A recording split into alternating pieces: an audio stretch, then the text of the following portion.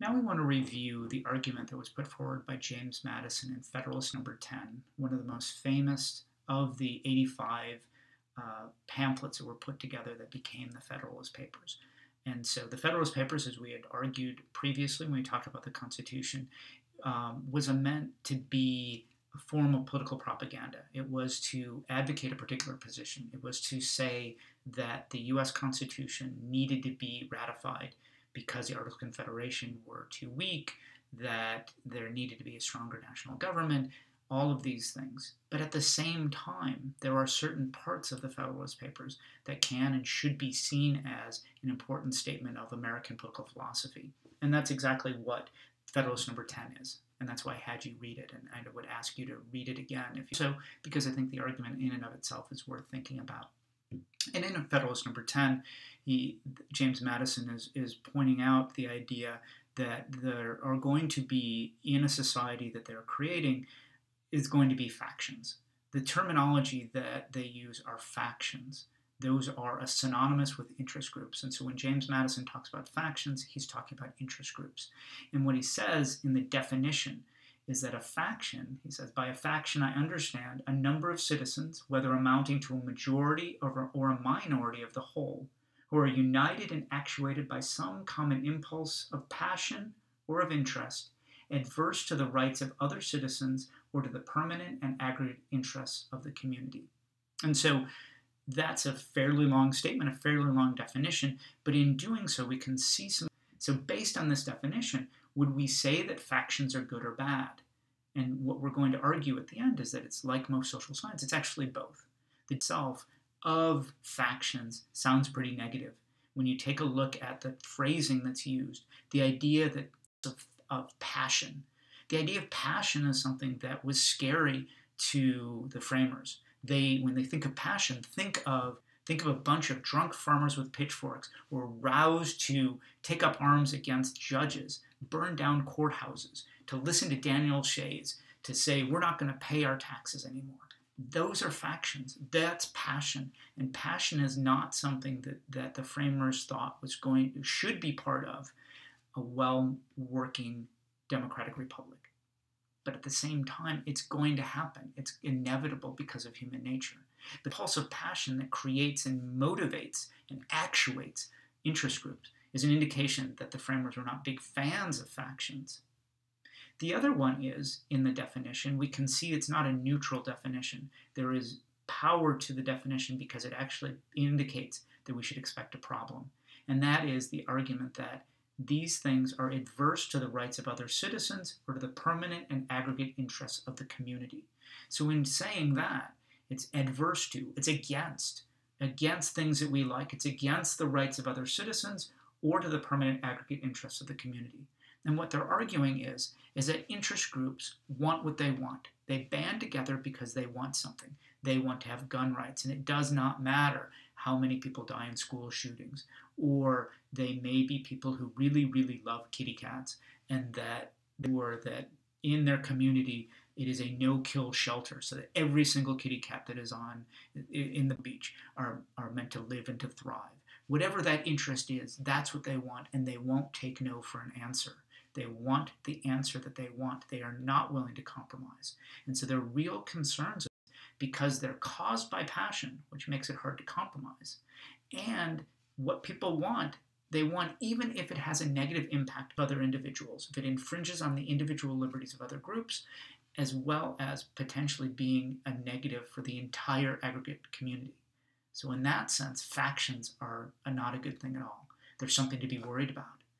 But if you take a step back, and that's what he does in Federalist number 10, is to say there's a real problem here because factions, interest groups, come from a very positive place. The reason why we have them is because we have these important individual liberties, because we have freedom of speech, because we have freedom of petition, because we have freedom of assembly. We have those First Amendment rights that then give interest groups the power to do something with it.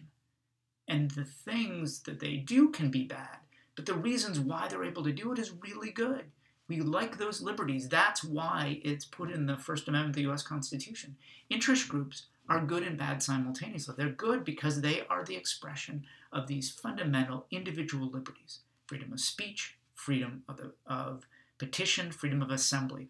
All of those are part of interest groups. The bad thing is, is that those groups, when they get together and they have their power to petition, they have their power to say what they want, they have the power to group with whomever they want, all of those things allows them to have their passion boil up and that they will continue to fight for what they want, even if it hurts other people, even if it hurts the community.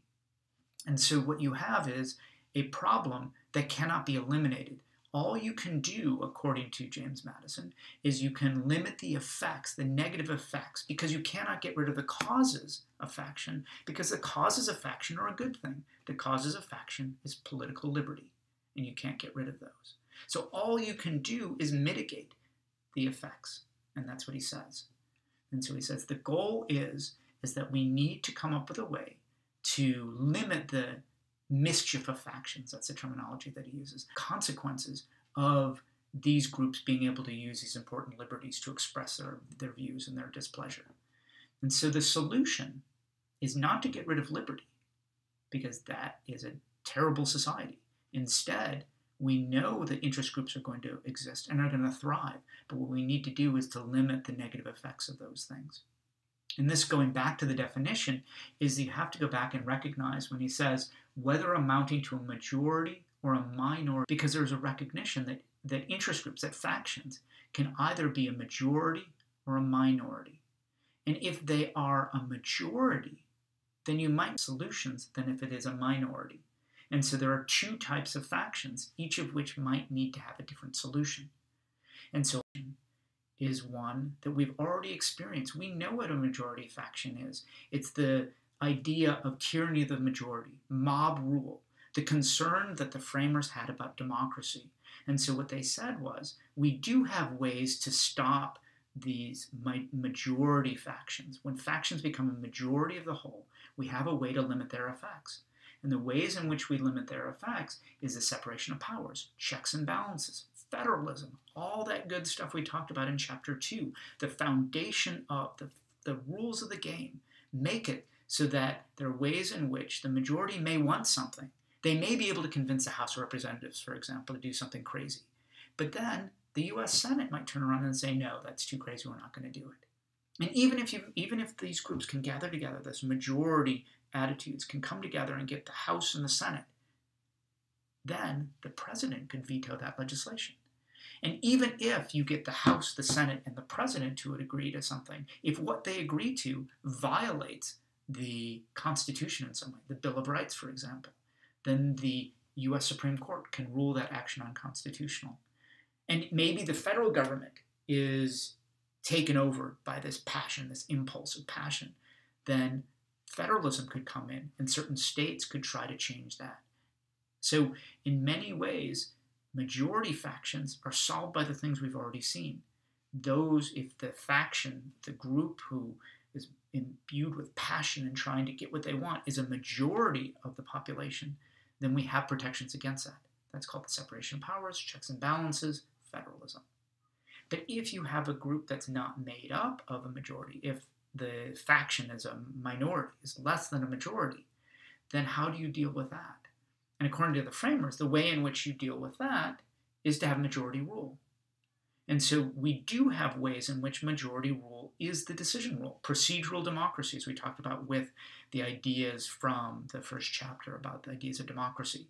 We do have majority rule. So how does legislation get passed? It gets passed because a majority of the House and a majority of the Senate say it's going to. And how are decisions made on the U.S. Supreme Court. It's a majority of the U.S. Supreme Court that makes a ruling. How is the president chosen? It is a majority of the Electoral College who chooses the president of the United States. So, in many ways, you see majority rule that exists in our political system. And so, according to James Madison, majority rule is going to stop minorities. But the issue is, is that because you have this system of separation of powers and checks and balances and federalism, what you've done is you've created a mechanism whereby interest groups can continue to fight. They don't have to take no for an answer. So if they are unsuccessful in convincing the House and the Senate to pass legislation, they'll go to the executive branch and try to lobby the Department of Agriculture, the um, Department of Education. They could go and try to influence the ways in which laws are actually implemented to get an outcome that's favorable to them and their groups. If they're not successful there, they could then have lawsuits that they will fund to be able to take this to the US Supreme Court and perhaps argue that this law is unconstitutional. And if they're not successful at the national level, they could do it at the state levels. They could try to convince large states like California and Pennsylvania and New York, and if they get enough of them to change it, it could change the direction of policy in important ways.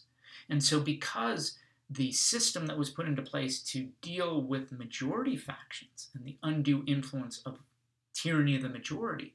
It's actually empowered interest groups in such a way that some people argue that the mischiefs of factions haven't been controlled, that we don't have enough majority rule. If majority rule is in fact the way in which you stop minority government, by adding in separation of powers, checks and balances, and federalism, it then creates power for, especially if you think about it, there are only certain types of interest groups that will be able to afford all the things that are necessary to be able to lobby Congress, to be able to go and lobby the executive branch, to be able to fund lawsuits in front of the US Supreme Court, to go to individual states and try to get them to change their policies. There are only some groups that can afford to do that, and other groups. So, in doing this, in trying to be clever, they might have been too clever and made it difficult so that now interest groups do have too much authority.